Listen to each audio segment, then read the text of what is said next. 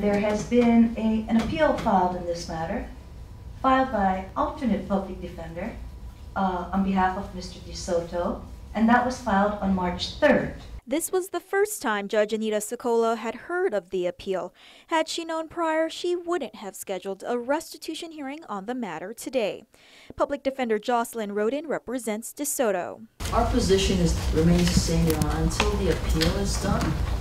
We do not believe that uh, restitution, a restitution hearing is appropriate. And the court agreed.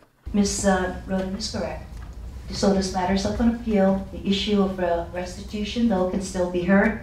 According to KUAM files, only four of DeSoto's 14 victims are requesting restitution totaling close to $14,000 to cover medical, travel, and funeral expenses. The remaining victims didn't respond or didn't request any restitution. Those who did, however, will have to wait. DeSoto pleaded not guilty by reason of mental illness. After over a month in trial and another two weeks in deliberations, the 12 panel jury returned with a guilty verdict, and he was sentenced to three lifetimes behind bars. During his sentencing, DeSoto continued to blame his mental illness for what he did.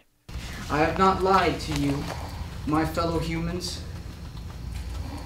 My actions were not the result of a premeditating murderous monster who has no love within his soul, but that of a tiny, meek, withered, and scared young man, writhing in psychological pain and paranoia. According to the alternate public defender's office, attorney Stephen Hattori will be representing DeSoto in the appeal. As for the March 3rd filing, the Supreme Court confirms the notice of appeal was in fact submitted in 2014 and that the most recent filing is relative to an order granting the appellant additional time to submit their brief, which is now due on or before May 8th. Reporting for Guam's News Network, I'm Crystal Paco.